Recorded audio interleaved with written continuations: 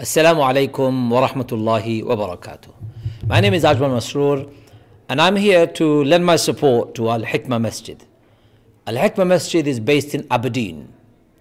There are approximately 5,000 Muslims who live here. And this is going to be their first ever purpose built mosque.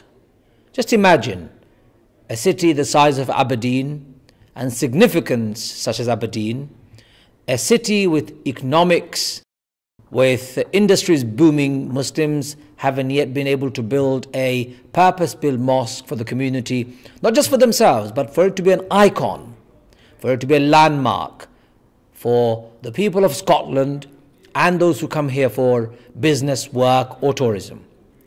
Support this mosque. This mosque will become sadaqah jariyah for you and for the entire community. This will become a permanent mark of the presence of Muslims in this part of Great Britain. Brothers and sisters, it is a simple task. Rasulullah said, Man bana lillahi masjidan, banallahu lahu baytan fil jannah. Whoever builds a house for Allah, a mosque for Allah on this earth, Allah will build them a house in paradise. House in paradise isn't our three bedroom terraced houses or even detached or semi detached ones that we have. We have squabbles with our neighbors over fence.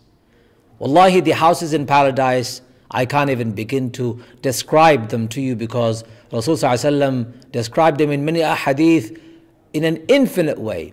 Quran says your mind cannot imagine what heavenly rewards await you and I. My brothers and sisters, support this project. It's 1.7 million pounds project. And Alhamdulillah, by the grace of Allah, the community here, they have raised 830,000 pounds. In the next few days, few weeks maybe, the mosque's outer structure would be air and watertight. But after that, it's the more detailed inner work that needs your support and help. Imagine the shell is ready, but there is nothing inside.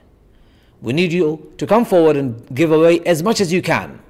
For building a masjid for Allah guarantees you and I a palace in paradise. Please donate generously for Al Hikmah Masjid in Aberdeen. Wassalamu alaikum wa rahmatullahi wa barakatuh.